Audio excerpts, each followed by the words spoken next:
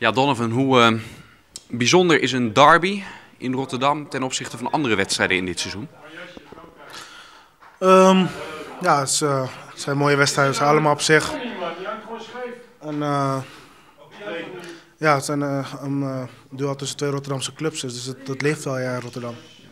Merk je dat ook met name bij de supporters van Sparta dat dit toch een van die wedstrijden is die eigenlijk gewonnen moet worden dit seizoen voor het gevoel? Ja, nou, sowieso, elke wedstrijd moet gewonnen worden.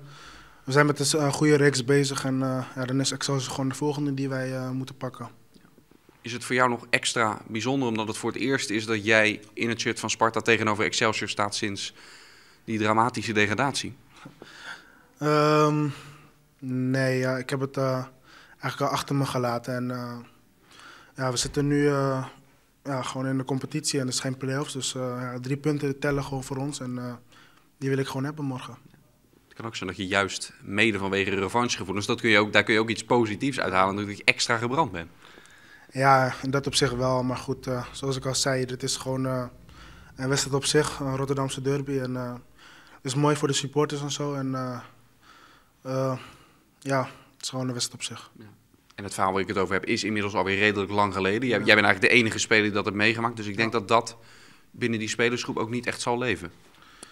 Ehm, nee, ja, ik heb ook niet zoveel mensen door, eh, daarover horen praten. En, eh, zoals ik al zei, ik heb het ook al achter me gelaten. En, eh, het is gewoon gegaan hoe het moest gaan, denk ik. En we zijn nu gewoon, gewoon, verder gegaan. En we zijn gewoon goed bezig op dit moment.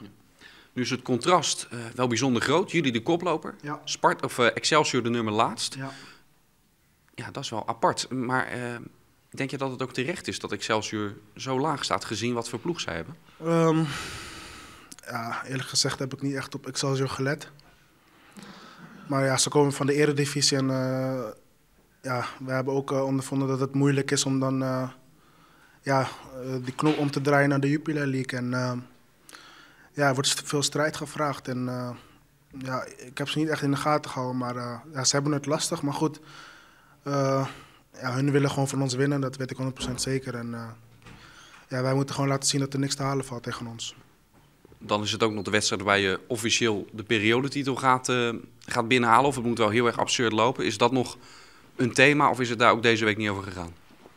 Ik heb niemand erover horen praten, maar eh, ja, als je die dingen kan pakken, is allemaal mooi meegenomen. Als je het goed doet in de periode, dan blijf je als het goed is ook bovenin staan. Dus eh, die dingen zijn mooi meegenomen, maar het is niet iets waar we ons op richten.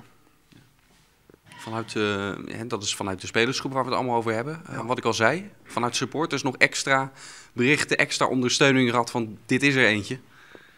Ja, ik, eh, veel mensen praten wel erover dat we, dat we hun moeten pakken. Ja, het is allemaal mensen die je op straat tegenkomt, social media. En, ja, iedereen heeft toch over dat we Excelsior moeten pakken. En dat willen wij ook, dus we hebben allemaal hetzelfde doel.